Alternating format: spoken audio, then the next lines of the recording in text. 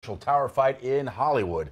The Broward Sheriff's Office says it needs a bigger tower for better radio communications. But no one wants that huge tower in their backyard. Today, Broward County Commissioners voted on the tower project, but that may not be the final word. Local 10's Nikki Mohan is live to explain. Nikki.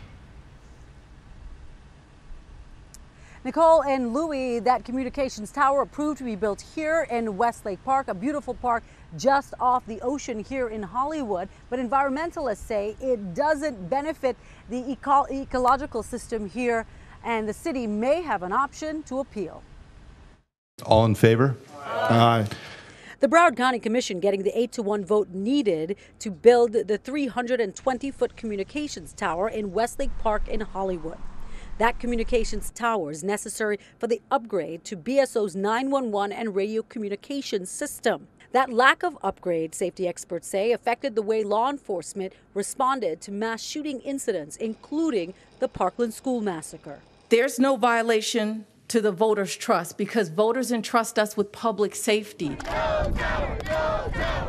Local residents have objected to the site, saying the park's ecological system is protected by the county covenant for a reason.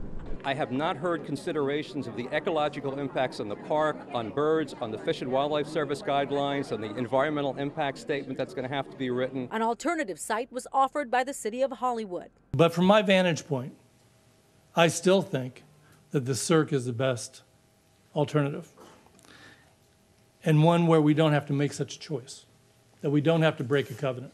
But after months of debate and research, county commissioners say protecting the public outweighed their concerns about protecting the park. I think we would be endangering health and safety of the community not to be building this.